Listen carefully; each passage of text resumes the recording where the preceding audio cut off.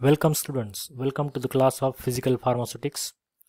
In chapter solubility of drugs, today we are going to discuss a bit types of solvent. Broadly there are three types of solvents which are used in uh, solubility mechanism.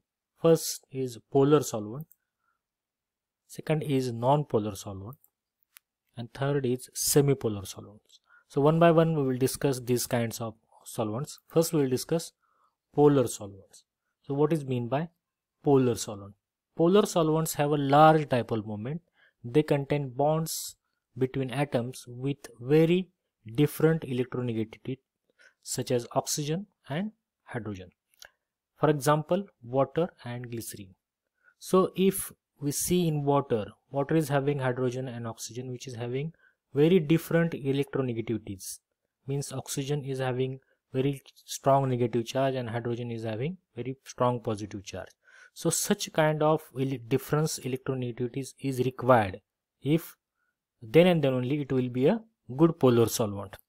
And the capacity of polar solvent to dissolve something is depends upon its dipole moment. Dipole moment is nothing but the charges on that atoms in that particular structure.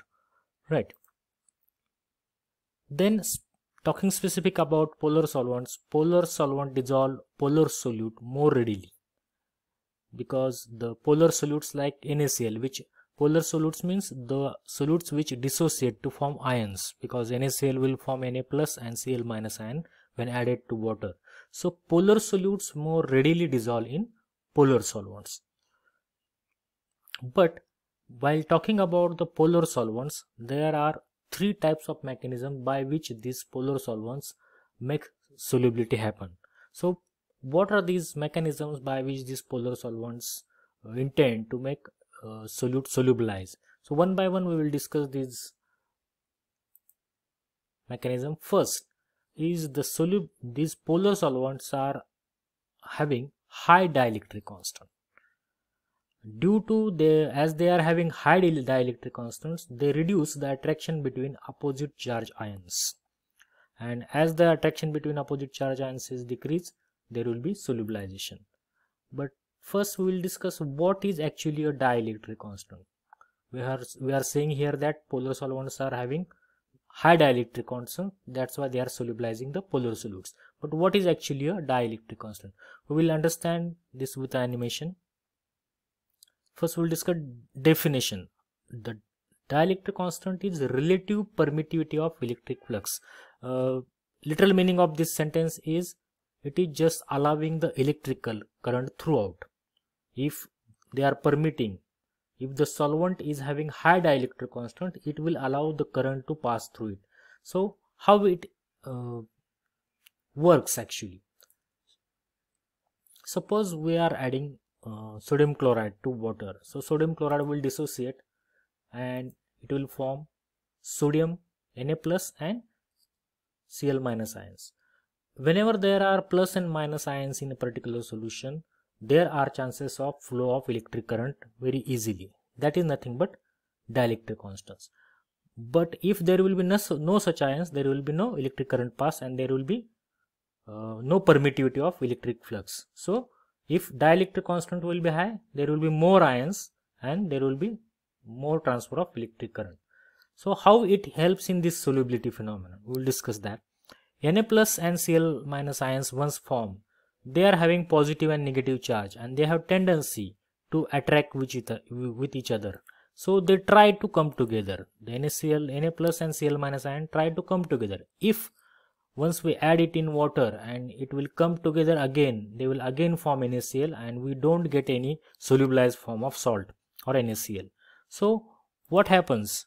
When we add water to it water is a polar solvent. We have already discussed. It is having large dipole moments or large uh, difference in electronegativities so what happens? The oxygen which is electronegative negative charge it pushes uh, this chlorine and hydrogen pushes this Na plus uh, ions. So they makes a barrier between this Na plus and Cl minus ion. So due to making the barriers the Na plus and Cl minus ions remain as ions. And as they remains as ions it is nothing but a solubility phenomenon. So by having a dielectric constant high dielectric constant that is that is nothing but reducing the attraction between the opposite charge how they, are making due to in using the dipoles that is charge of electronegativities they are maintaining distance between these ions and that's why the solubility happens. So high dielectric constants is just a phenomena which maintains these ions of opposite charge uh, by at, uh, or opposes or reduces the attraction between these opposite charge ions or repels these opposite charge ions so that they remain in ionized form and we get the soluble solution so in this way the water helps this Na plus and Cl minus ion to uh, remain in uh, opposite direction or they reduce the attraction between the Na and uh, Na plus and Cl minus ion that, that's why there will be ionized form of Na plus and Cl minus in solubilized form. Next things we are going to discuss is dielectric constant values. As we are defining dielectric constant, there are some values of dielectric constants. Uh, for example, water. Water is having 80 value of dielectric constants. It is the highest value of dielectric constant among the polar solvents. So what happens? this water is ha having high dielectric constant that's why it dissolves polar solutes which solutes it dissolves inorganic salt organic salt likewise so uh, the phenomena we have already discussed here suppose we take example from here that the solvent with a low dielectric constant. For example 5 dielectric constant which are the examples? Hexane benzene. For example we take benzene and we add inorganic salt for example NaCl we add NaCl to benzene. What will happen? If NaCl uh, is added to benzene there will not be uh, solubility or the um, salt will not get dissolved in benzene because there will not be high dielectric constant. It is having very uh, low dielectric constant that is 5 so this phenomena we have discussed that it will not reduce the attraction between the opposite charge ions so that the Na uh, plus and Cl minus ions come together and again the salt will form which is not in a ionized form so it will be not solubilized. So when we add polar solutes like NaCl to the uh, solvents with low dielectric constant like 5 of benzene. It will not get dissolved. It needs a solvent like water which is having high dielectric constant. It will readily dissolve. So next we will discuss the second mechanism. We have discussed first second mechanism for polar solvents by which it get solubilized. Second is breaking of covalent bond. If we add hydrochloric acid, for example HCl, uh, to water, uh, if you uh, try to break the bond of hydrochloric acid, it is difficult because it is a covalent bond. But when you add it to water, it will readily dissociate to H plus and Cl minus N due to electronegativities of this polar solvent. As we have discussed earlier, the water is a polar solvent. It is having uh, O minus and H plus electronegativities and high uh, dipole moments. That's why it dissociates or it breaks the covalent bonds of hydrochloric acid and dissociating H plus and Cl minus. So this is second um, mechanism by which polar solvent act. And third uh, mechanism by which polar solvent act is a forming a hydrogen bonds. So hydrogen bonds are formed with of water are formed with uh, alcohols, aldehydes, ketones or amines with any of this category, water can form hydrogen bonds. And if hydrogen bonds are formed, the water will able or the polar solvent will able to form a solution. We have also already discussed in earlier lecture the example of sucrose. When sucrose is added to water, it get dissolved due to formation of hydrogen bonds. Wherever uh, there are OH bond present on the sucrose molecule with that the water interacts the oxygen atom interacts and forms a hydrogen bonds almost the Uh, sucrose molecule is covered from all the side with the water molecule and solubilization occurs or solution forms so forming hydrogen bonds is a third type of mechanism by which polar solvents acts and form a solution so we have discussed polar what is polar solvent how it acts and what are the three mechanisms by which polar solvent acts. Next we are discussing non-polar solvents. Non-polar solvent dissolve solute through weak van der Waals forces or induced dipole forces. So non-polar solvent will not utilize any of mechanism of polar solvents like hydrogen bonds or uh, high uh, dielectric constants. Instead, they will be acting using the forces like weak van der Waals forces or induced dipole forces. The examples of non-polar solvents are benzene, toluene, carbon uh, tetrachloride likewise and they dissolve non-polar solutes like oils and fats.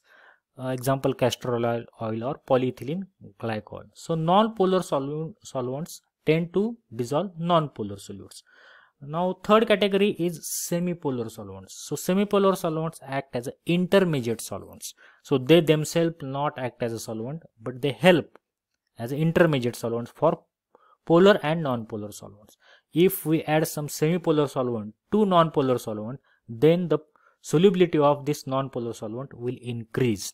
So they can induce certain degree of polarity to non-polar solvents. We have seen that non-polar solvent is having very less dipole or induced dipole or weak forces of van der Waals. So if we want to increase the solubility of non-polar solvents like benzene, so for example if we add alcohol, alcohol is a semi-polar solvent, we add alcohol to benzene, then it increases its solubility for polar solvents. So we can uh, use semi-polar solvent as an intermediate solvent to improve the solubility of uh, or solubility parameter of non-polar solvents. So it is a third category of uh, solvents. By looking at this all three categories of types of solvents, we can say that we have seen that polar solvent tend to dissolve in dissolve polar solutes. Here we can say the non-polar solvents dissolves non-polar solutes. So polar solutes dissolve polar solvent in polar solvents and non-polar solute dissolves in non-polar solvents. This phenomenon came to uh, evolution of a phrase called as like dissolves like.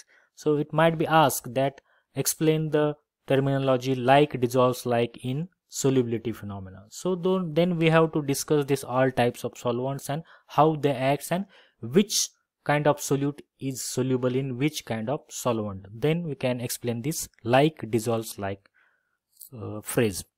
Okay. In next lecture we will discuss standard solubility parameter. Thank you